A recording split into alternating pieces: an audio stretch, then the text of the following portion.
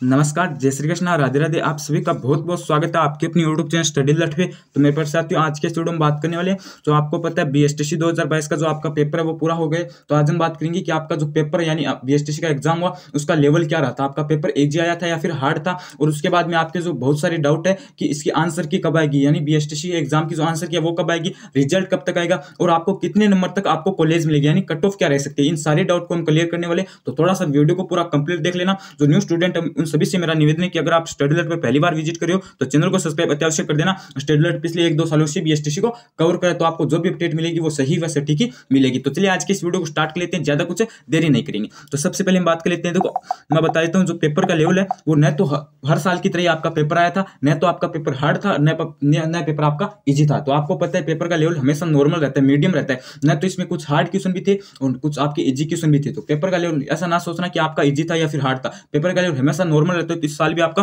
Paper का level normal ही था, ठीक है? अब बात कर लेते हैं कि आपकी आंसर की। देखो आंसर की आपकी कभी भी जारी नहीं की जाती है, ठीक है ना? विभाग बीएसटीसी की आंसर की कभी भी जारी नहीं करता है तो आपको आंसर की के चक्कर में नहीं रहना आंसर की का आप डाउट बिल्कुल से भी मत रखिए। आपकी आंसर की विभाग कभी भी जारी नहीं करता है, ठीक है? हाँ आपको कुछ जो जिक्के के क्वेश्चन है, वो आपको देखने को मिल सकते हैं, लेकिन जो आपकी ऑफिशियल पूरी आंसर की, वो कभी भी जारी नहीं की जाएगी। अब किस कारण जारी नहीं की जाती वो बता देता हूँ, क्योंकि आपको पता है रिज़ल्ट हर बार बीस पच्चीस दिन में आ जाता है तो बीस पच्चीस दिन के पहले आप आंसर की क्या क्या करोगे? क्योंकि आपको पता है, बस ये भी बीस दिन के अंदर रिज़ल्ट आ जाएगा। तो आंसर की जारी करने का क्या?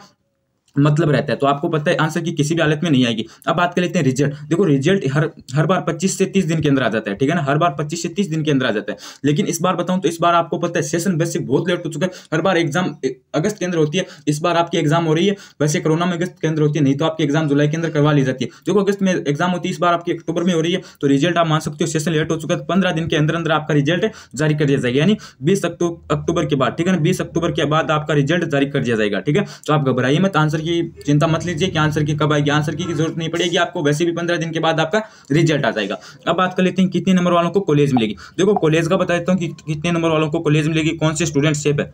तो देखो, अगर आप किसी भी कैटेगरी से हो, अगर आपके 380 प्लस नंबर बन रहे हैं, ठीक है ना? अगर आपके 380 प्लस नंबर बन रहे हैं, तब आप एकदम सेफ़ हो, ठीक है? चाहे आप ओबीसी से हो जनरल से हो ईडब्ल्यू से हो, या फिर एस सी से हो, आप किसी भी कैटेगरी से हो, अगर आपके 380 प्लस नंबर बन रहे हैं, तब आप एकदम से सब सेफ़ हो आपको घबराने की आवश्यकता नहीं है। तो ये तो आपकी कट ऑफ़ थी। मैं बता देता हूँ, इस बार आपकी जो कट ऑफ़ है वो हाई जाएगी, ठीक है ना? सेफ़ इसलिए तीन बहुत ज़्यादा होती है, क्योंकि आपको पता है इस बार जो कंपटीशन है वो थोड़ा ज़्यादा, छह लाख के समथिंग फॉर्म भरे गए हैं, ठीक है? छह लाख के समथिंग फॉर्म भरे गए और मात्र पच्चीस हज़ार सीटें ठीक है ना? पच्चीस हज़ार सीटें तो आप मान सकते हो कि कंपटीशन ज़्यादा है, इसलिए आपको नंबरों की आवश्यकता भी ज़्यादा पड़ेगी, ठीक है ना?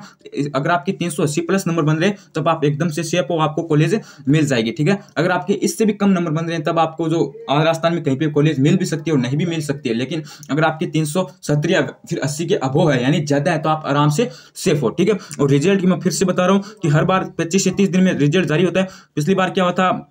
सत्ताईस दिन के अंदर रिज़ल्ट आया था, लेकिन इस बार ऐसा मत सोचना कि एक महीने के अंदर रिज़ल्ट आएगा। इस बार क्या होगा कि बीस अक्टूबर के बाद, ठीक है ना? बीस अक्टूबर के बाद आपका रिज़ल्ट कभी भी जारी कर दिया जाएगा, ठीक है ना? बीस अक्टूबर के बाद तो आप घबराइए मत, क्योंकि आपको पता है सेशन वैसे भी लेट हो चुका है तो ओमार को चेक करने में इतना समय नहीं लगेगा, मात्र पंद्रह दिन के अंदर आपका रिज़ल्ट आ जाएगा। एक मेरी बात ध्यान से सुनिए ना, आपका जो पेपर का लेवल था वो नहीं तो इजी था और नहीं हार्ड था। आप सोचोगे कि हार्ड था, वैसा था, क्योंकि हर साल आपका पेपर होता है, वैसे ही इस साल का पेपर था, एकदम मीडियम साइज़ का, यानी नॉर्मल पेपर था तो आप घबराइए मत। और आंसर की आपकी नहीं जारी की जाएगी। मैं एक बार पुण्य कर रहा हूँ कि आपकी आंसर की नहीं आएगी। तो बस आज के लिए बस इतना ही। बनी रहे चैनल स्टडी के साथ। लाइक शेयर सब्सक्राइब स्टडी आप स्टडी को सब्सक्राइब अत्यावश्यक कर देना, क्योंकि आपकी जो बी एस टी सी से रिलेटेड जो भी अपडेट आएगी तो हम आपके बीच में सबसे पहले वीडियो बनाकर ज़रूर लेकर आएँगे। तो बस आज के लिए बस इतना ही। बनी रही चैनल स्टेडियट के साथ। धन्यवाद।